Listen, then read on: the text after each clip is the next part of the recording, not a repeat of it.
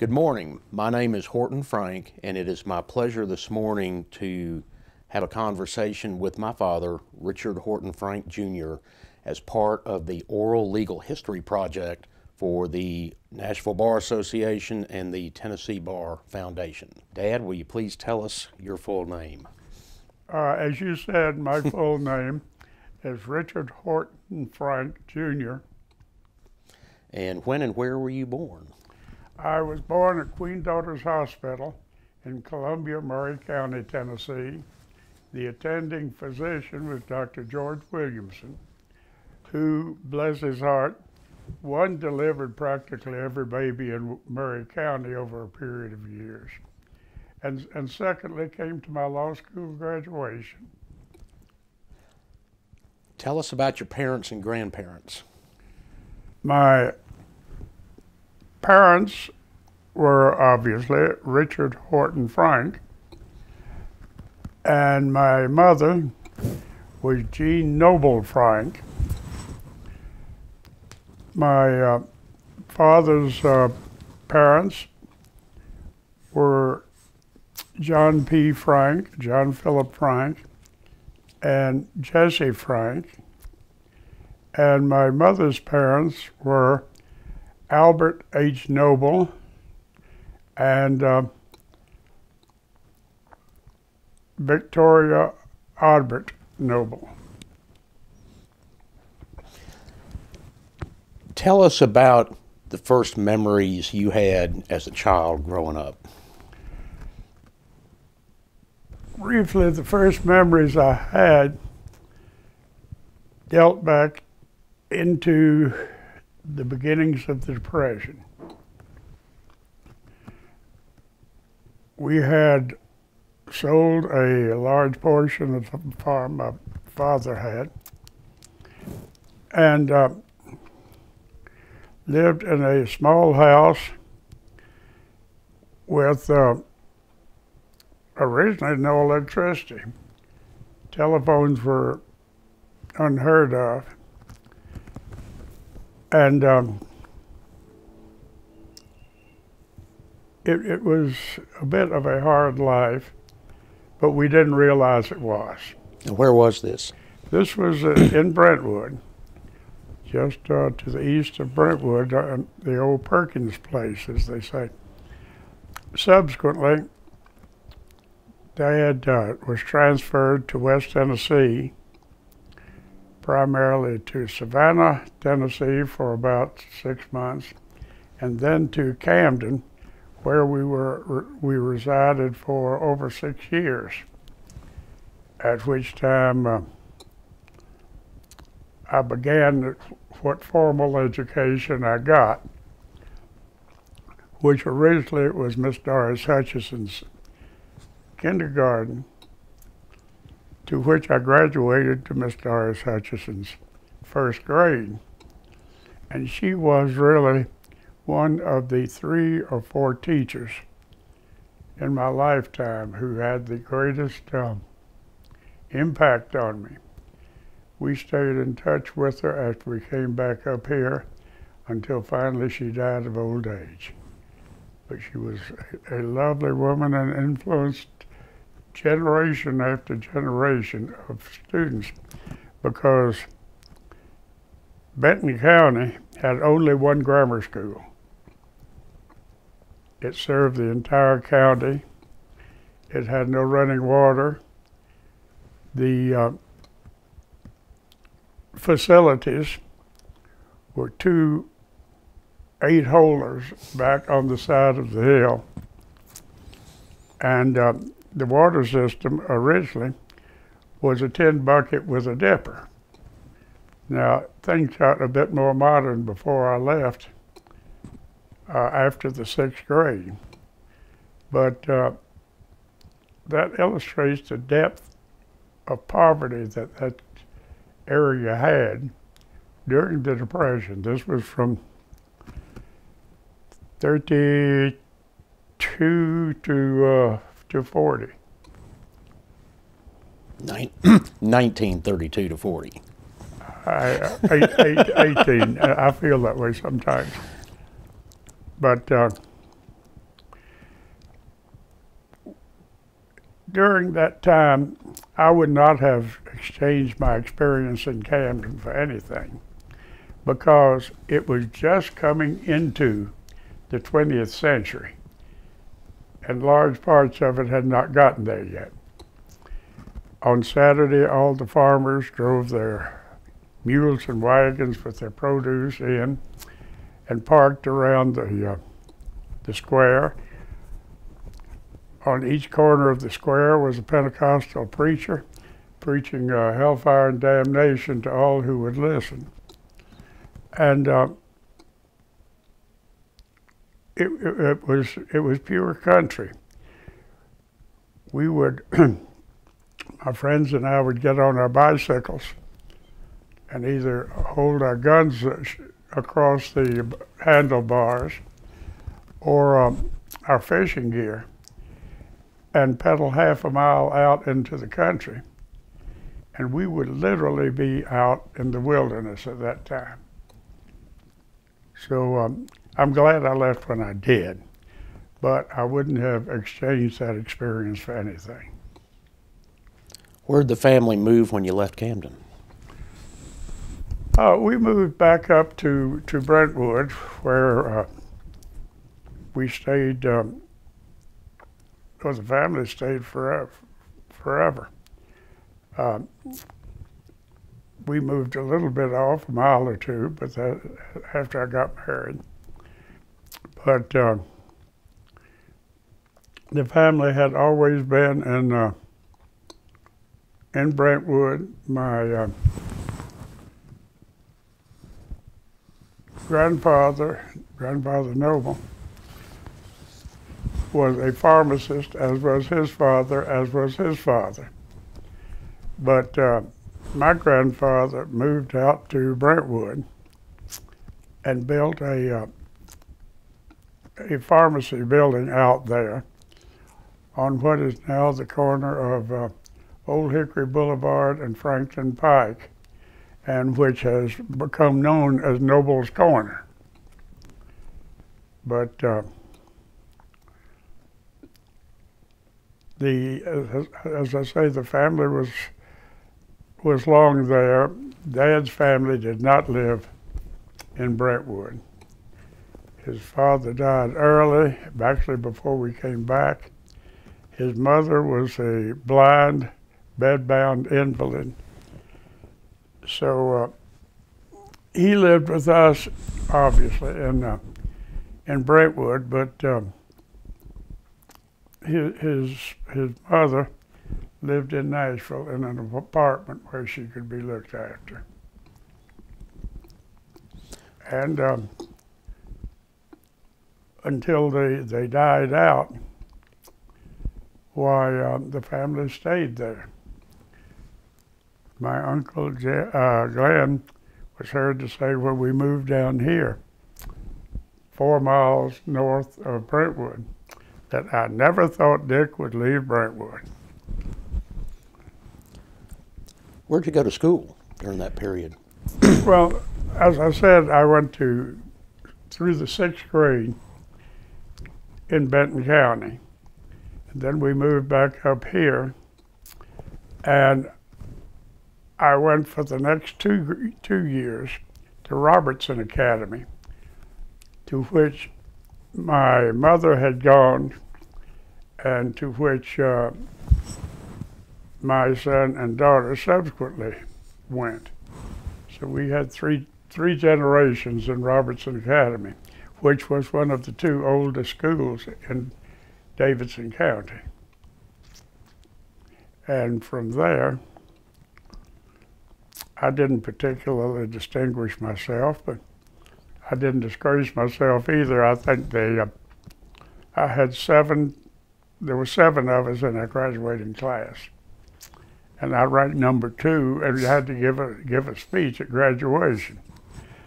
But um, from there,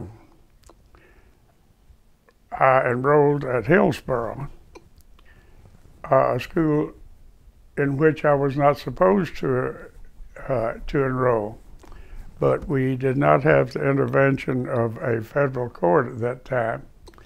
And um, I was picked up by the Central High school bus near my home, brought down onto Franklin Pike, and let out. There were about five of us did this finally, and walked across the street and got on the bus for Hillsboro, and went over there. But um, they had it was a public school, but there was as good an education available there as there was at any of the private schools at that time. Um, the teachers were dedicated, they were well informed, and um, learning was really a, a, a, pleasure. And uh, we managed to survive it. Actually, I, I, the war was still going on, and uh, or the Korean War had started about that time. And I wanted to enlist, and my parents told me I could not until I graduated from high school. So I speeded up my courses and graduated in three and a half years. And uh, ran out of war. About about the time I graduated, I think the uh, the North Koreans uh, heard I was coming and and quit. Were there any events or people other than uh, other than World War II and and and, and the Korean War that um, that influenced you during that period? Oh, not really during that period. My um, biggest focus was on, I guess, you're like Marie Antoinette felt about it, getting it over with. But uh, subsequently, I started Vanderbilt in uh, March. What year? Of 46, 1946. And at that time, as I say,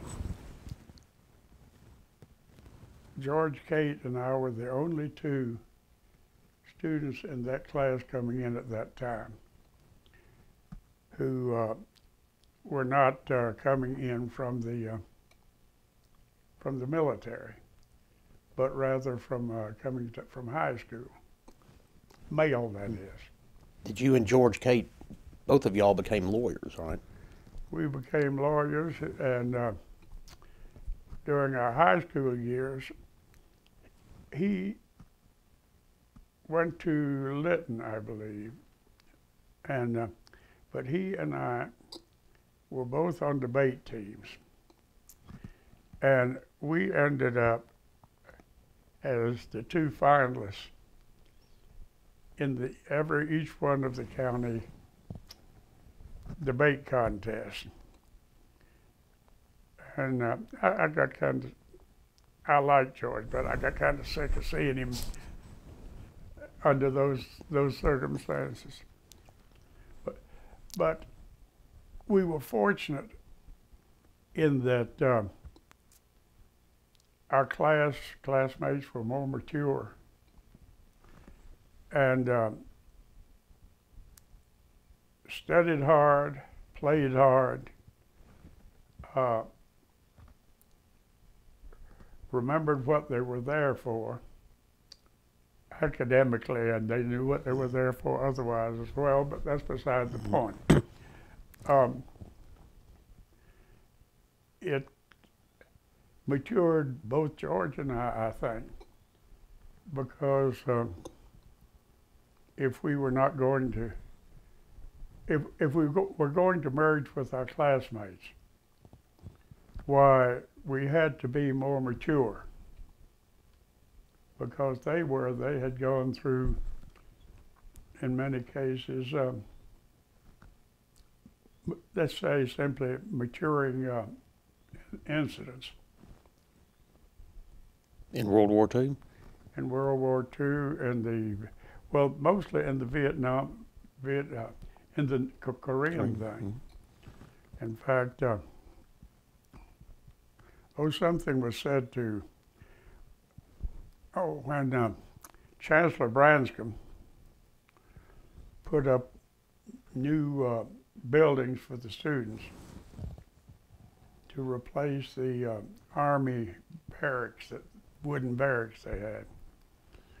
Why, he promised to uh, to talk again to the seniors, which promise he broke promptly the same day. But he he told him he said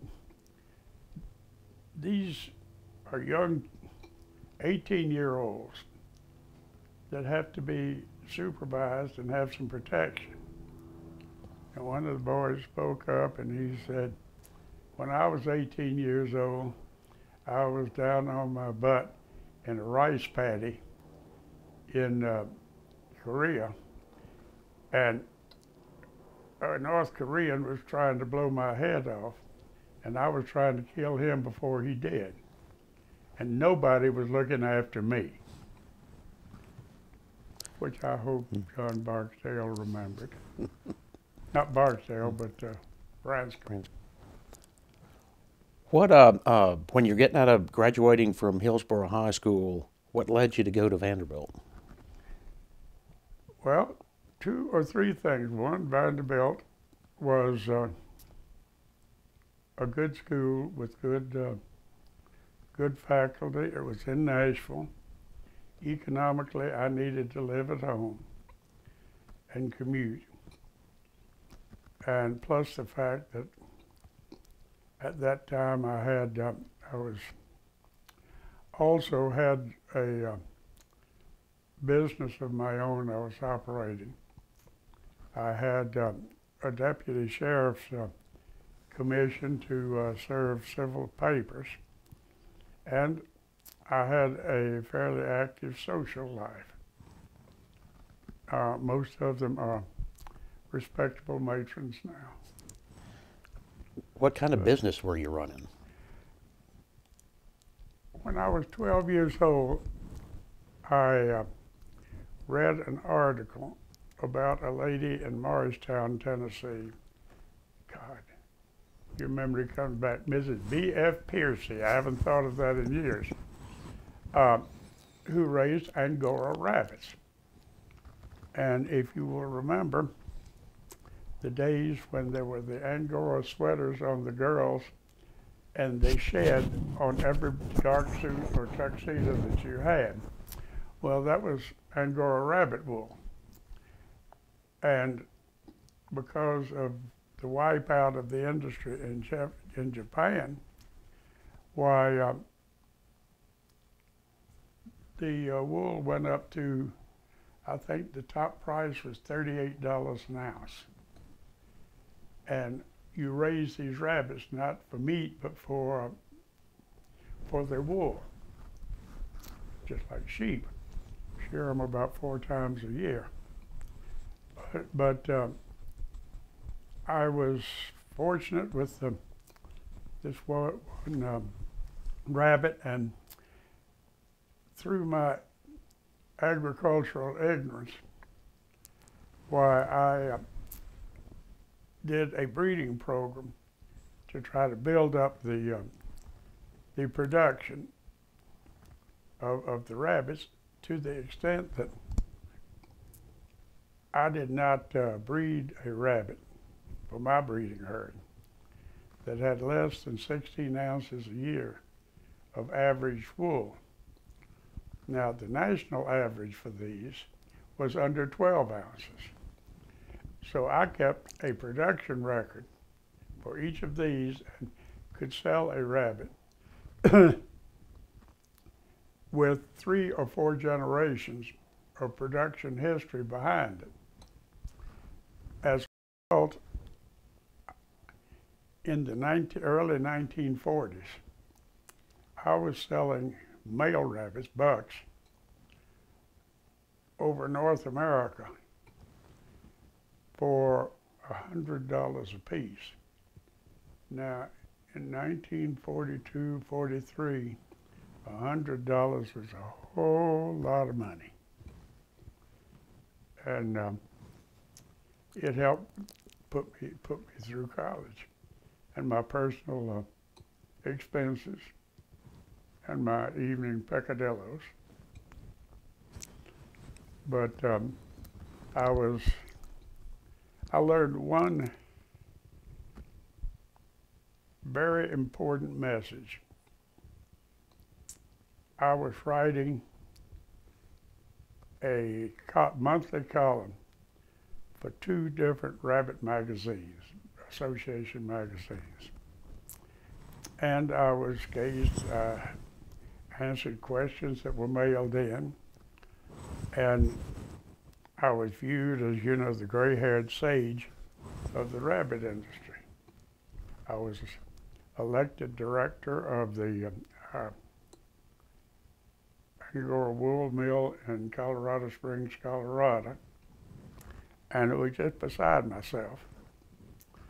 So when the annual meeting came up, why, a couple of us drove out to Colorado Springs. And when I walked into the meeting, it wasn't the gray haired sage that walked in, it was this 15 year old punk kid. It blew my whole image. And I learned from then on that you stay out of the limelight, you get where you're going, and you let other people front for you. So if they get killed, you don't bleed. What else do you remember about uh, about Vanderbilt and Nashville generally when you were an undergraduate at Vanderbilt? Uh, when I was an undergraduate at Vanderbilt, things were a blur because in order to get through and through law school and having joined the uh, Naval ROTC, why, uh, I didn't have much time. When did you enlist in the So, uh, Naval ROTC? Uh, I st- when I first started um, Vanderbilt after the first semester, in fact, a friend called me and asked me if I'd heard that they were signing him up. I said no, and he said, "Well, it closes. This is Friday. It closes Monday." We we got it together and uh, got the papers in because it was uh, the first one they gave books, tuition, uniforms, fifty dollars a month uh, subsistence. Uh, they pay a little better now, and you got a regular Navy commission, not reserve but regular. So uh,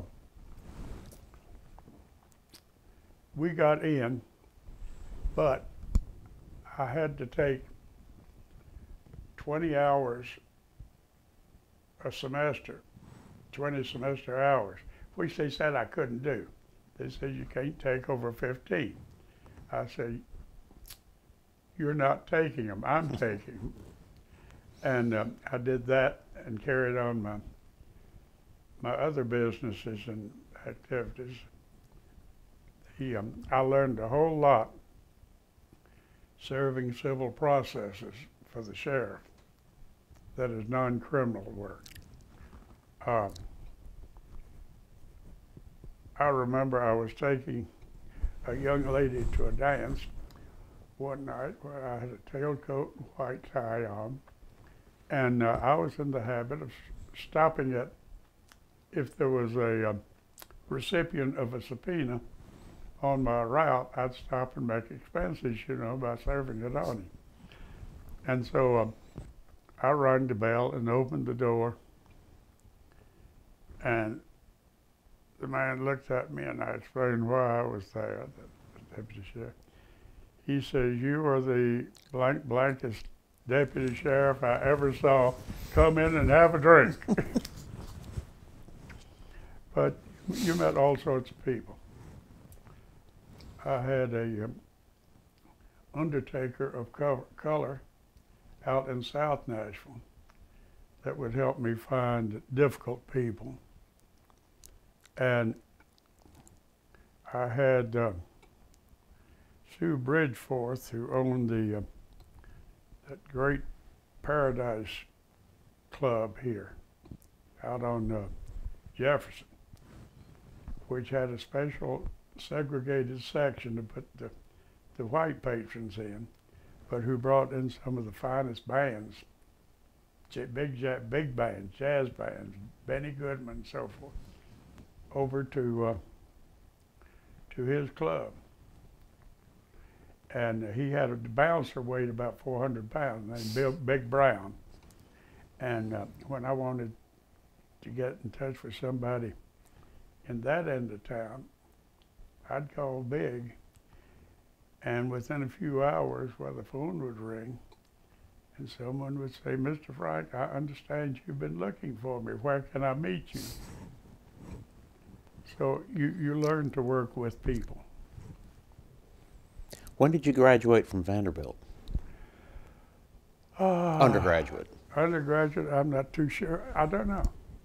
I was the only junior in absentia that Vanderbilt ever had. Now, I graduated from law school in the summer, in the spring of 1951. I had started law school, having continuing to take uh, my Navy courses, which were, gave me academic credit. Time such that when I got through law school, I would have also uh, got graduate, would also have acquired enough academic credits to get my degree. Actually, I did it a little faster than that because in 1950, I got my BA. And in 51, I got my, what then was an LLB, who is n- which is now a JD. So um, it was interesting. Quick. I had some, especially in law school, some wonderful teachers. Tell us about some of those folks. Well, John Wade, who is now retired as dean, but who um, was a Marine officer on Guadalcanal, what many of them survived, and uh, wonderful man, wonderful teacher, probably the leading American authority on torts. Uh, Dutch Hartman, who had been an intelligence officer, a captain in the South Pacific on the commander's staff, who taught um, contracts and partnership. And uh, he he was wo- wonderfully good. Uh, those probably more than any anyone else influenced me and continued Dutch particularly to be my close friend until he died.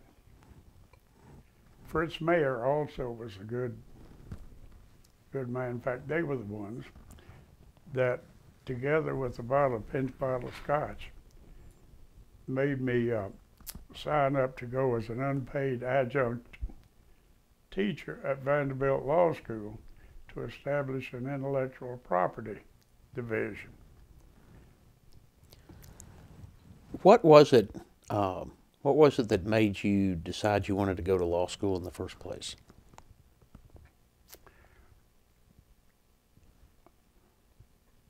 Um,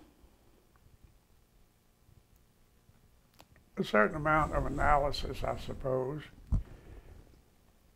I got through undergraduate school, or was in the track to get through undergraduate school. it occurred to me that a law education would be uh, be useful in anything I got into, business, what have you. So I got uh, started there in the spring semester, and uh, so I was taking uh, equity, which talked about uh, various remedies. And uh, at that point, I didn't know what remedies were because I was I was going backwards. It's um, I had an nasty habit of that. In uh, high school, I did the same thing. I took the second half of Spanish before I took the first half.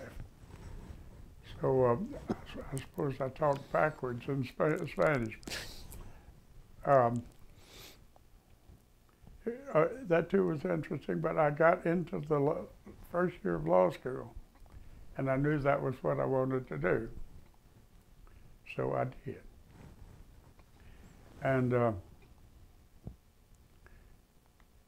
it, it has, has been and is um, very valuable to me in anything I do.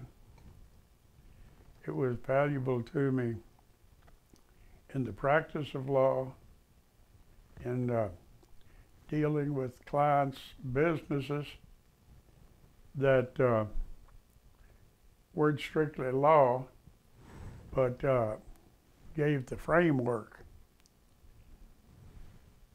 uh, in which to conduct their business. And uh, all, all of that is framed in law. Practicing law was a challenge in virtually anything you do. I mean, business, finance, uh, it isn't all Perry Mason. In fact, only a couple of times have I felt like Perry Mason, and then I did not have a secretary like he had. but um, they were interesting early on. One of my senior partners had been United States Attorney. And so he was getting a lot of whiskey cases because in those days there was a lot of whiskey cases. One of the principal industries in Tennessee was white whiskey. And um, it, it, was, it was fun defending those sometimes. When you got through with law school at Vanderbilt, did you, is that when you uh, began your active duty in the in the United States Navy? Almost. Okay, Uh, take it take us in that direction. Well, it was horrible direction. I, I suffered. I graduated from Vanderbilt Law School. Got my commission at that time. And uh, then started studying for the bar exam. The Navy gave me a few extra days of leave to take the bar exam. So I was trying to gather my affairs up, get my uniform together, uh, study for the bar exam, and uh, hope that somehow I could get through it. The bar exam took uh, two days. And uh, as I think I mentioned to you earlier, Judge Williams was the secretary of the bar examiners and had been since uh, Noah's animals came back off the ark and started deciding who'd be judge and who'd be the uh, attorney. Where did Judge Williams sit? Who Right between George Kate and myself. No, on what court? Uh, well, he ended up, I think, on the Supreme Court. He was on court. He was a chancellor, then I think he was on Court of Appeals, and then on the Supreme Court, and a brilliant man. And the smartest thing he ever had was a very, very brilliant secretary who became the first woman lawyer at the, uh, day, at the uh, Nashville bar and smarter than any of the men. Do you remember what her name was by chance? No, I don't. Okay. Tell us about taking the bar exam. But, but anyway, we took the bar exam with uh, Judge Williams talking to both of us all the time, and very difficult. And the night of the second day of the bar exam, by this time, as you can imagine, I was exhausted. I mean, just cross-eyed exhausted. And we went over to say goodbye to Dave Lansing, who was clerk of the Supreme Court and was Dad's closest friend and sort of my godfather. And he pulled out a pint of scotch and he said, Dick, don't open this till you get on the train, but you'll need it then to go to sleep. he was right. Um, I got on the train at midnight in a coach. Couldn't, couldn't afford a Pullman and uh, got off the next day in Norfolk and reported on board uh, my first ship, which was a escort carrier. They don't have them anymore. It had wooden decks and a 19 knots top speed. But there I was for a couple of years. And um, also at that time, I probably had more raw power than I've ever had before or since. I was personnel officer, legal officer, administrative officer, division officer for the Master at Arms Force, which was sort of like sheriff, and stood underway deck watches. And anybody who wanted anything on that ship, including the captain, had to see me to get it. And um, I didn't know any better. I ran it like a small town, small county courthouse. And my friends I rewarded, my people who didn't behave toward me, I punished. You remember the name of the ship? Palau, P A L A U. Um, as I say, did 19 knots top speed. And um, because an airplane had to have not only natural wind blowing, but you had to turn into the wind to create enough wind across the deck so the thing, uh, the airplane would lift up in the air instead of falling in the water. Uh, we had some that did both. Um, but it was chasing the wind around with this little uh, little carrier. It was on a tanker hull. Uh, that was an experience, and you sweated because you knew you could very easily kill somebody. But uh, that too was a maturing experience. Then I came out of there and with a little finagling got transferred up to Great Lakes to a legal billet and uh, had been there just a little while. When I was over at uh, the officers club, sitting at the bar and having a drink, when this young lady comes in, and being a Southern gentleman, I offered her my seat, and we chatted each other up a bit. And uh, I, as I recall, I think I dated her perhaps the first time that night, and then the next night. In the meantime, prior to that time, another officer and I had uh, rented a little cottage on the back of an estate. This was up north of Chicago. Is that where Great Lakes was? Yeah. And uh, in those days, two two men could share an apartment without people thinking there was something strange about them. But Fred, very quickly, Fred was a product of Ivy. What do you mean? His father was general counsel for the Union Pacific, based in Cheyenne, Wyoming. He went to Deerfield Academy, Dartmouth, and Harvard Law School. I mean, that is the gilt age. Um, and was just country as it could be. But then Fred started dating Kitty also. Is this the same lady that you met at the Same officers club? And I would date her one night and double with uh, Fred and her. And I would date her one night, and Fred uh, went off and did whatever he wanted to do. The next night, Fred would date her, and I would double date with him with this little captain's daughter that I was fooling around with. And then we would repeat. The two of us alternated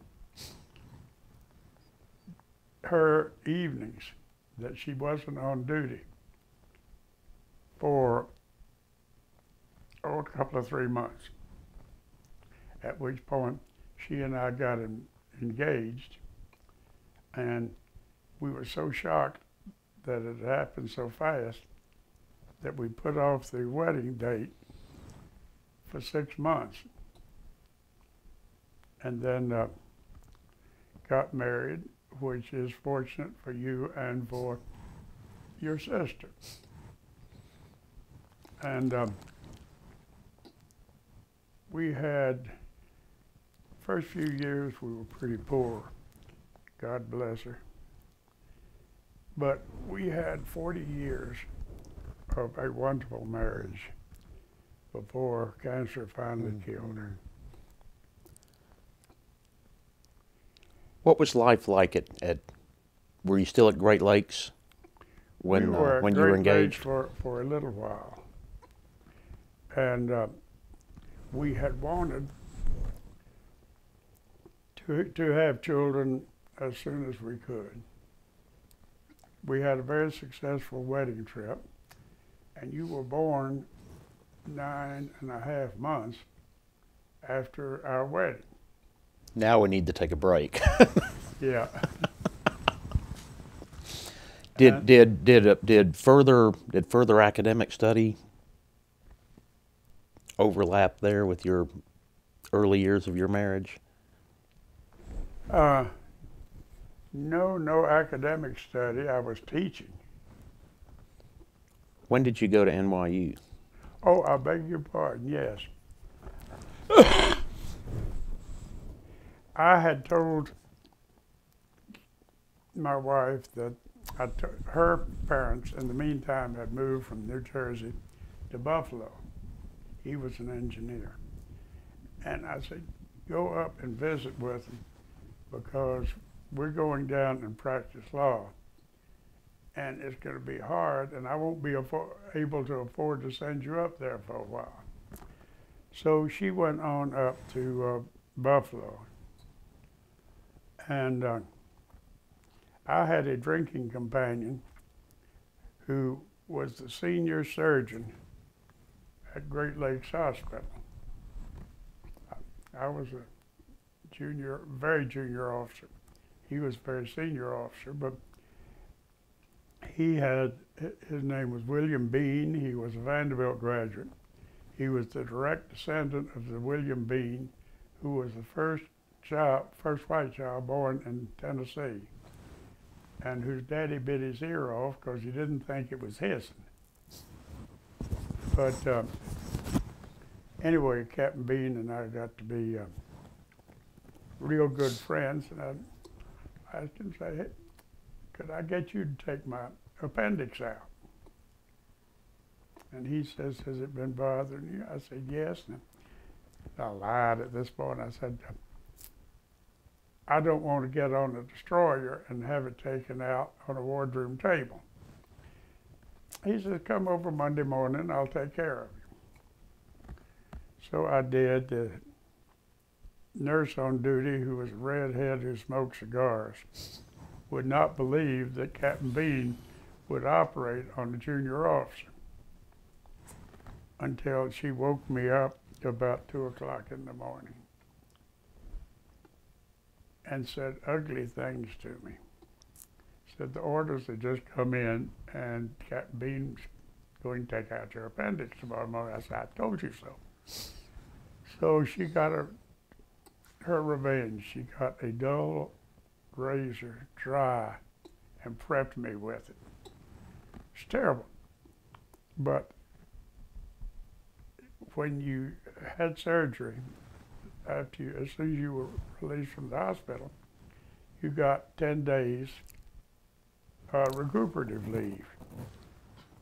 So I got out of the hospital and hit the ground running and went to Buffalo, which was why I had my appendix taken out to begin with. I wanted to see your mother.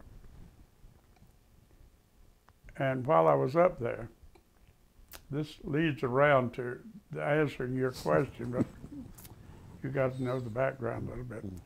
Uh, the office called. I had had a terrible experience in that before we got married, I was supposed to come back and practice law with three prominent young lawyers, all of whom I knew. And um, they seemed to like my academic background and my personality and what have you. Anyway, after we were married and you were on the way, they broke up. One of them became city attorney, one went to Johnson City, and one became county attorney. And um, so when the phone rang and the office said, our tax man has just left us.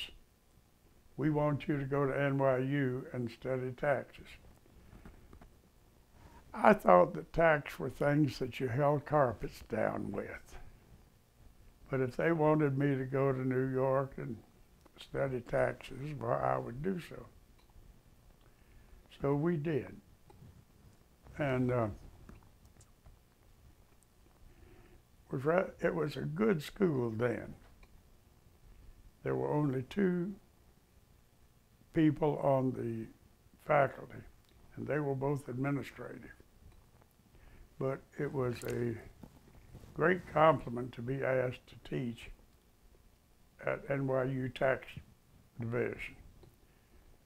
We had a the assistant United States Attorney for Tax Affairs come up once a week from Washington and teach a course. In fact, he loved martinis, and he and I'd knock off a couple of martinis before course. Uh, we had the head of the uh,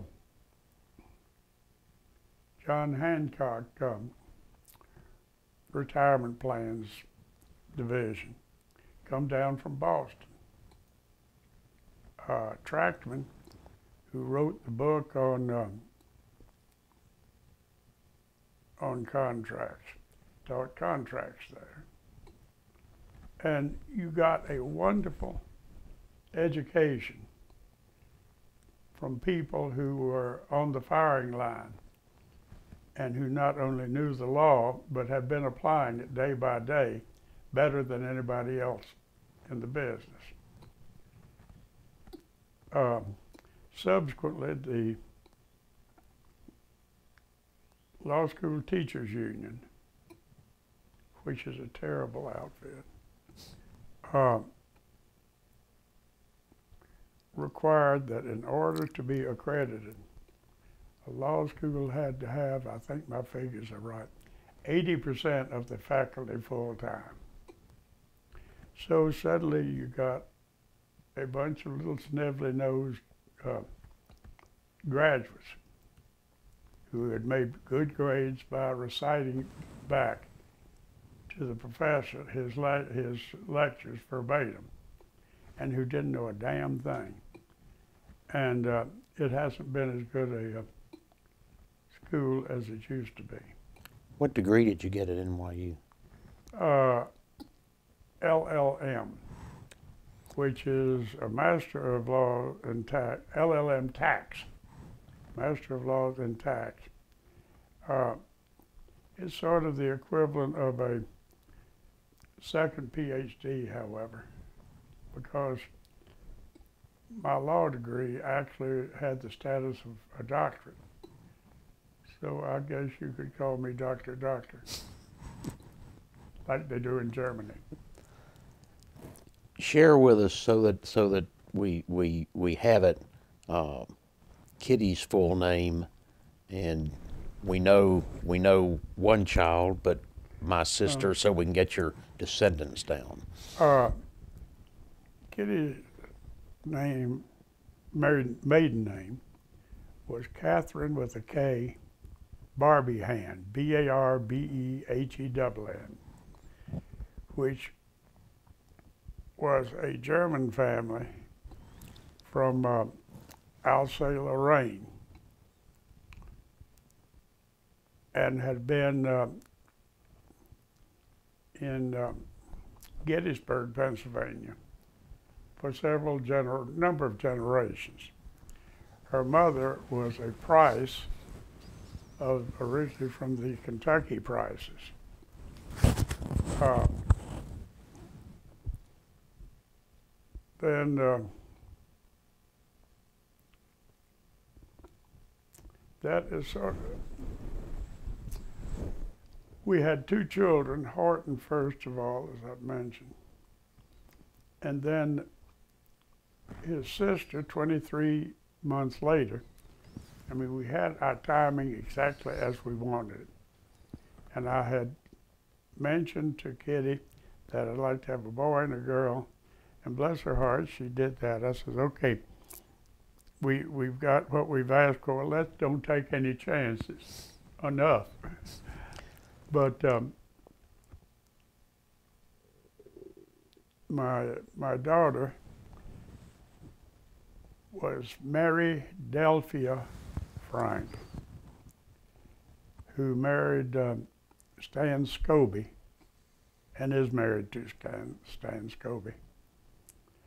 Uh, the Mary is for Kitty's mother Adelphia is for not only my mother, but uh, the family because she is, I think, the seventh Delphia in the line in the family. The first two name was Philadelphia, which in back at the, in that time was a fashionable thing to name the girl.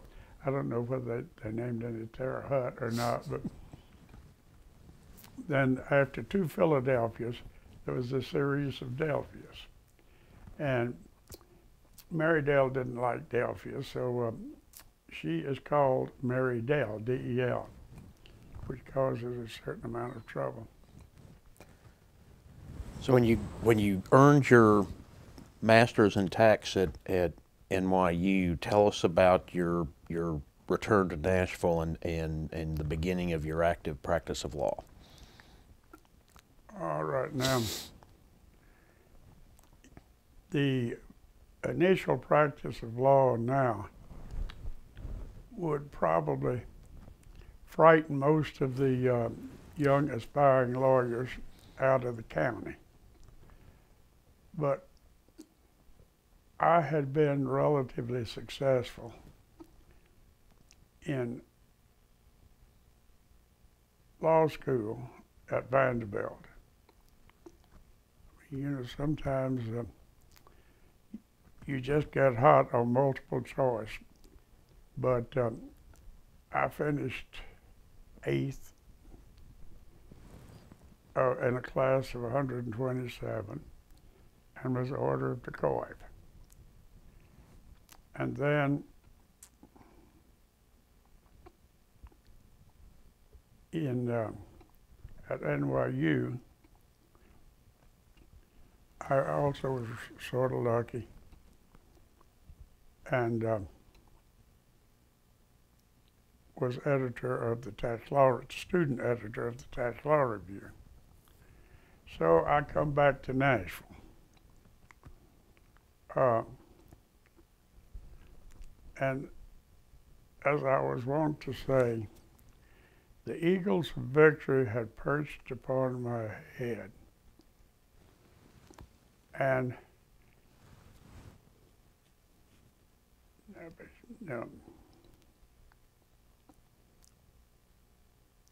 the laurel wreath of victory had been placed upon my head, and the eagles of victory had crept upon my laurel leaves.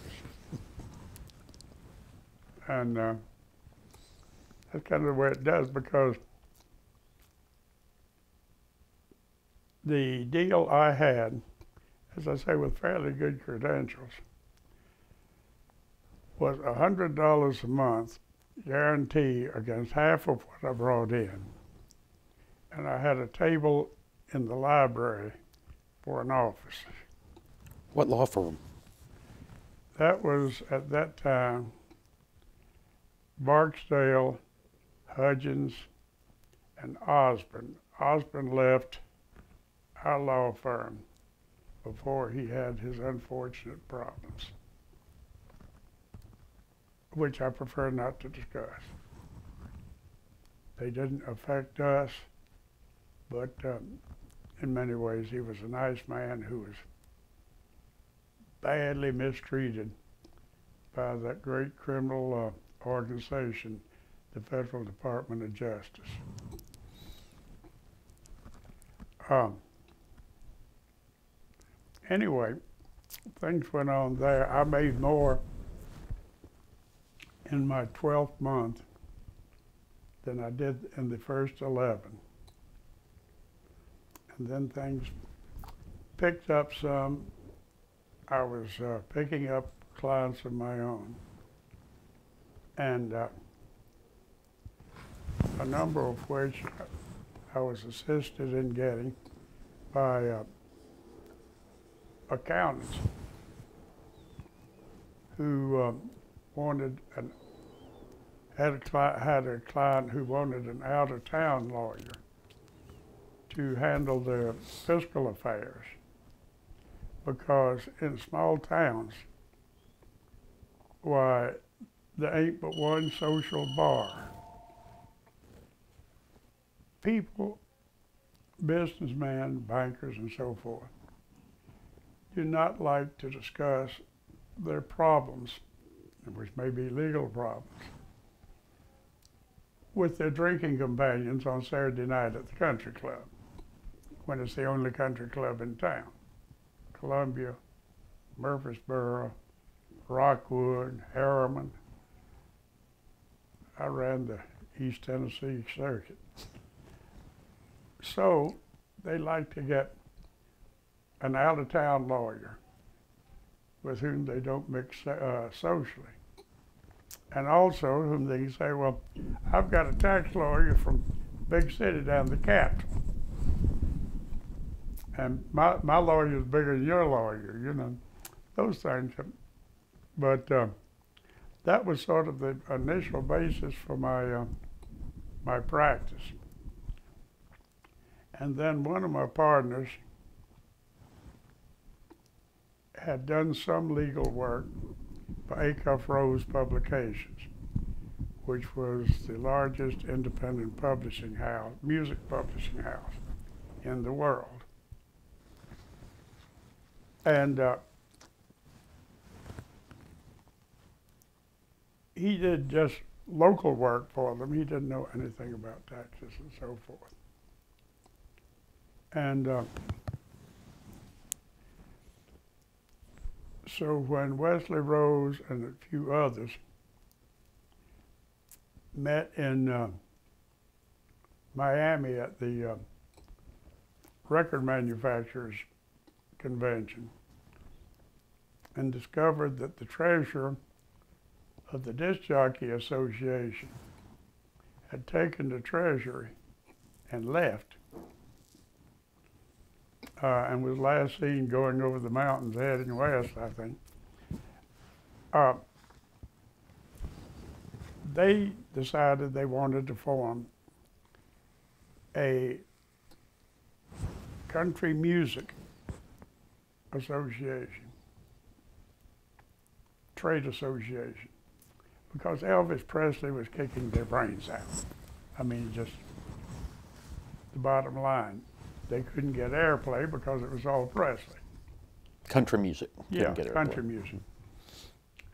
So they came back, and with my tax background, why my partner volunteered me pro bono. He was bad about that. To uh, get get their uh, federal tax exemption status, which I did, and in the process, I got to know most people and liked them, and got uh, more and more involved. We formed the Country Music Association. I was the lawyer for them and on the first board, been on that board ever since. And uh,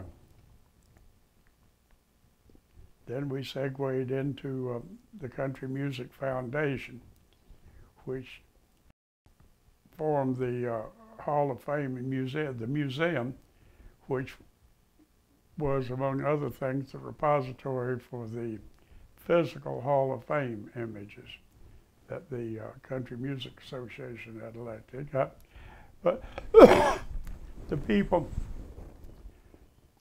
were real good people, um, smart as hell, good business people, and uh, at the same time, getting to know them more and more, why uh, they became my clients in whole or in part. And, uh, you know, it's like an amoeba, it just keeps splitting and multiplying. And the first thing I knew, the great, much the greater part of my, my practice was in intellectual property and the music business, mainly the entertainment business. And in the course of that, I represented I, I know well over half of the people who are now in the Hall of Fame. And they ran the gamut from Roy Acuff to Shania Twain.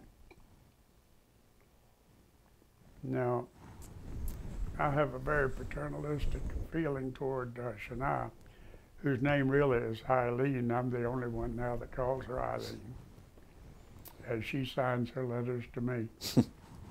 but uh, a lady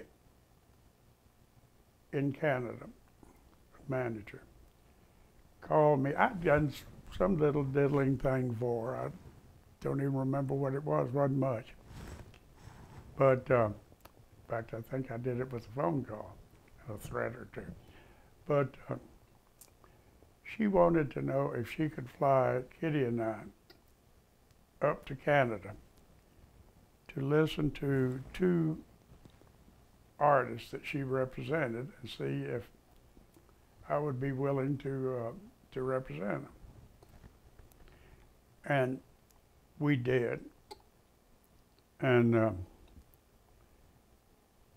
the first one was a very, very good piano bar entertainer. And she was never going to be anything more than a piano bar entertainer. Then we drove up about 50 miles north of Toronto to this resort, which had two lakes, three golf clubs, golf courses, um, a hot tub in every room, every suite. There weren't any rooms, suites.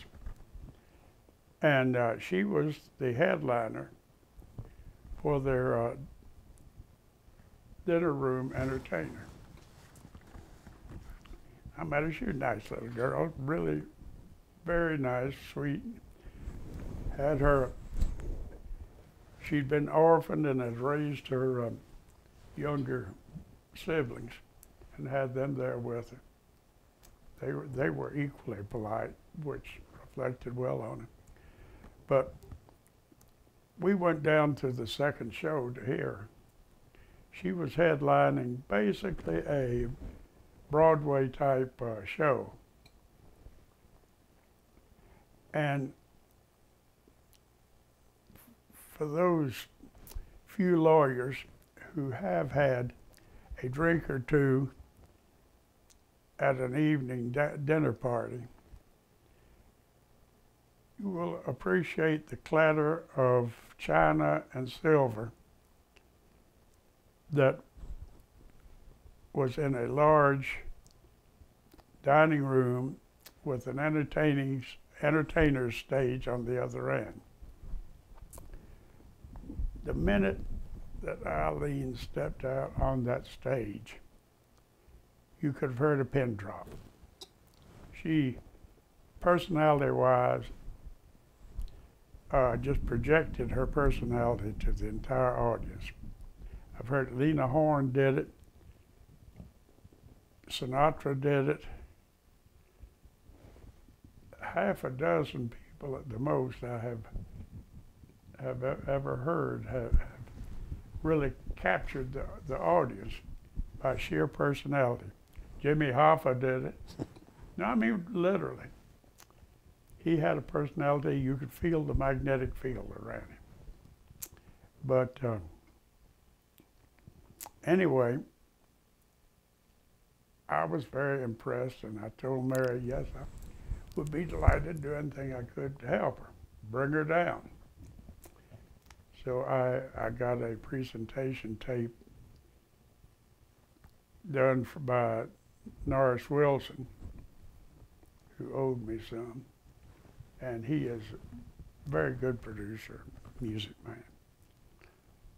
And uh, then we were able, and rarely have I had this pleasure, instead of trying to find a contract for an artist, we sat down and decided which label, which company we were going to let have her. She was that good. And we analyzed them, picked Mercury because of their international distribution and their local distribution if they had a big seller. That Saturday night dance thing, they loaded their system and did great. Anyway, we took her over and uh, played her for the executive producer who was head of Mercury here. And he banged his chest and said, I want her. Then greed got him and he said, Does she still have her publishing? And I said, You are a greedy son of a bitch. She is go- going to have it, or you don't get her. So that she had a very good relationship there. She sold 34, 35 million copies of her first album. That uh, was more than any other act or female country act has ever ever sold. And um, she did very well, and then uh, she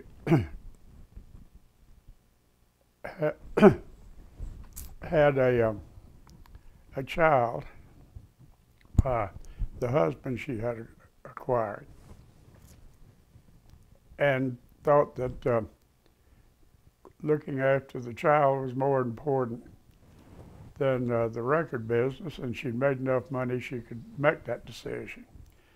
So um, she had a place in Switzerland, and she has been living there now, although just recently, within the last year, she has a or had a contract with uh, one of the major casino hotels in Vegas.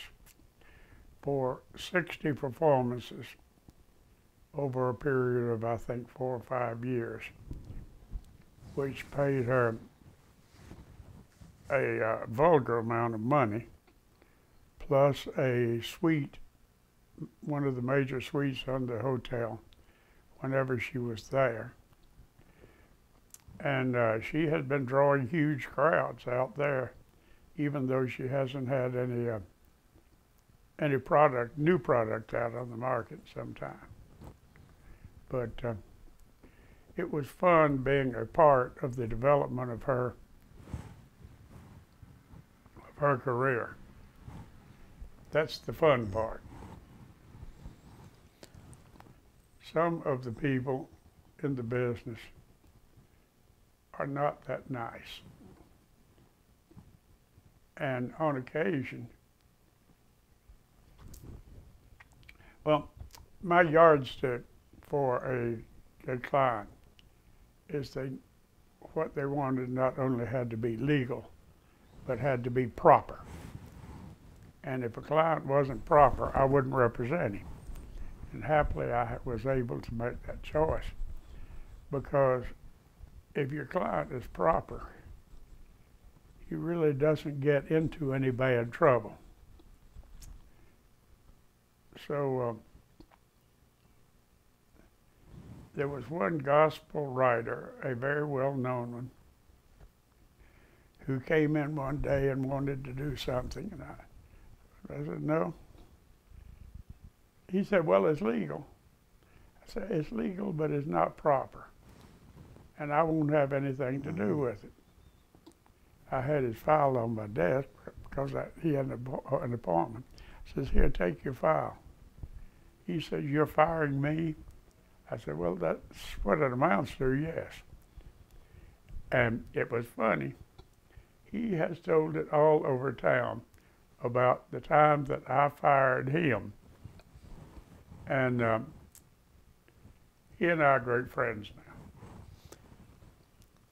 But uh, those are the things that um, I have been retired now 15 years.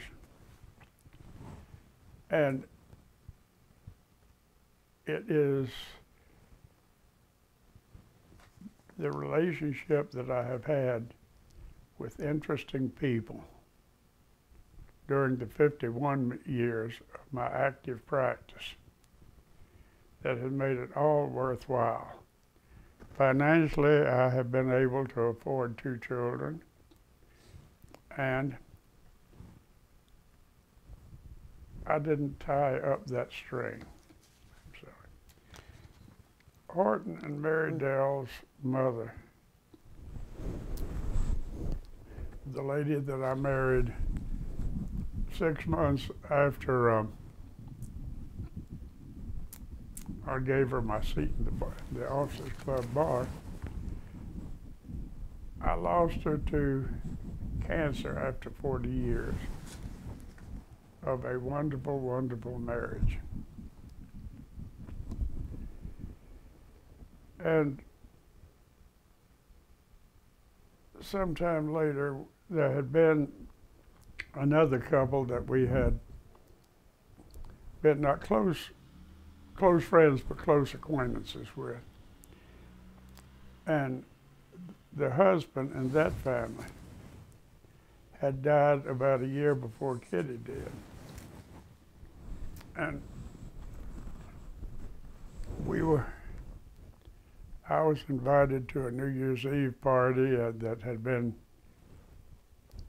been, been uh, attending for years and years. And they also invited, it's awkward for someone to go to a party single. So they checked with me and uh,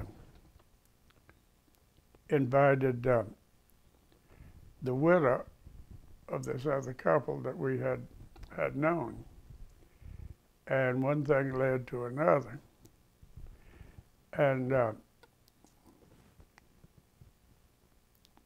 mentally, I was in pretty bad shape. But subsequently and eventually, um, we married each other, and we've looked after each other. And she has been very, very good to me because when I start feeling sorry for myself, she kicks me in the tail and keeps me moving. Tell, it- tell been- us who this is. Uh, her name is Sandra. She is, oddly enough, a Bohemian by race. Bohemia being that vast center of Middle Europe, uh, which now became Czechoslovakia, Yugoslavia, Poland.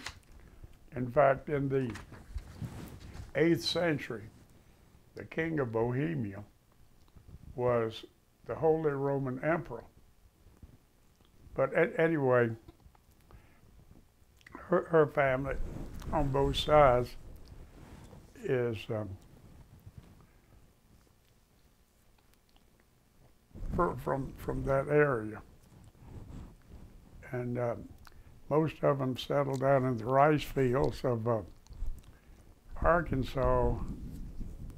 Oh, gee, a couple of hundred years ago. And then during the Depression, some of them went up to Chicago to uh,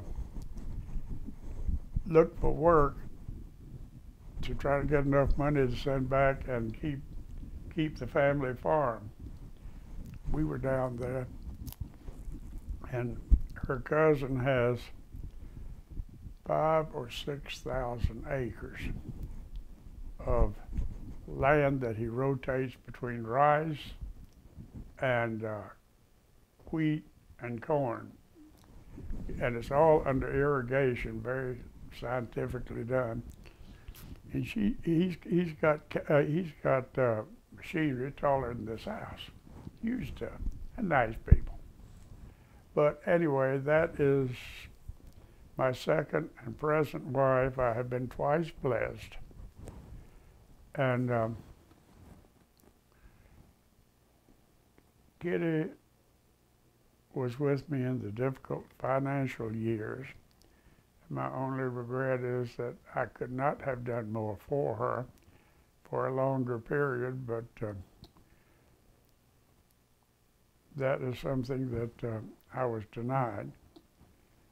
Um, Sandra, as I say, has looked after me very well and we have a good marriage again.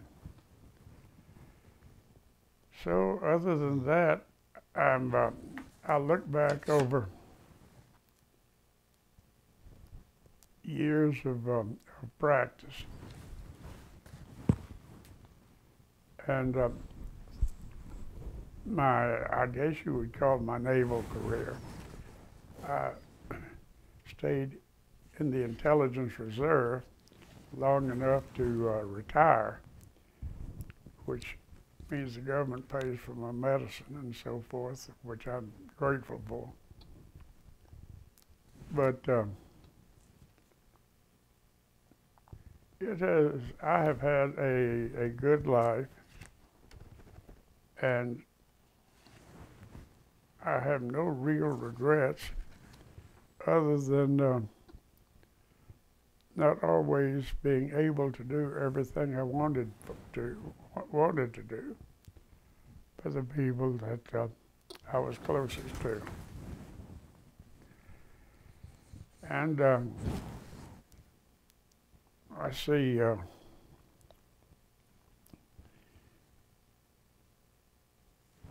I had always said that when the practicing law no longer was fun and close knit profession, I was going to quit. And it isn't, and I, I quit 15 years ago. I attribute it somewhat to the growth of the multi lawyer firms, particularly those who are have uh, multi state offices uh, whose lawyers number in the hundreds or in the thousands and whose uh, emphasis is on billable hours and money and uh, getting and uh, milking clients and uh, it, it just wasn't fun. The uh, unfortunately financial considerations, which are normal, have increased and driven out the collegiality and the professionalism and ethics of much of the of the bowl, bowl much of the bar. It um, people don't have time to sit down and have a cup of coffee or or have um, a drink in the afternoon because they need to put in more billable hours. I had one partner who shall remain unnamed who would come to the office at nine and leave at five and bill 12 billable hours. I think he billed double when he went to the bathroom. But um, that and the government injection, uh, bureaucratic injection, and regulation of the profession just it has taken the professionalism out of it and the closeness that lawyers felt to each other. We, for many years, we didn't have any lawyers that we couldn't trust implicitly. And if you had a thing, you wanted to put down a consent motion or a consent order for a postponement or some such, the other lawyer might say, well, I'm getting ready to go to courthouse. You want me to do it for both of us? And you would say yes and never think about it. Now, I would say that I, I could not say that about a great majority of the lawyers who are coming on. They're not taught that way anymore. And uh, Horton has done a wonderful job practicing law. And uh,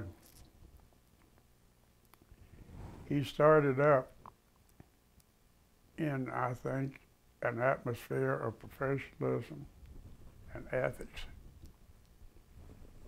and uh, has able to to maintain that because he doesn't have the pressure that a huge firm would would uh, heap on him. I'm very proud of what he's doing, and it uh, beats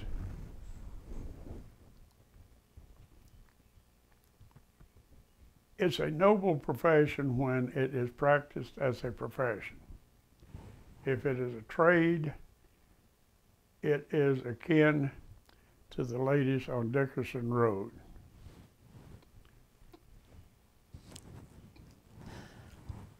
On that note, On that note, I would say to the young lawyers coming on, with all sincerity, that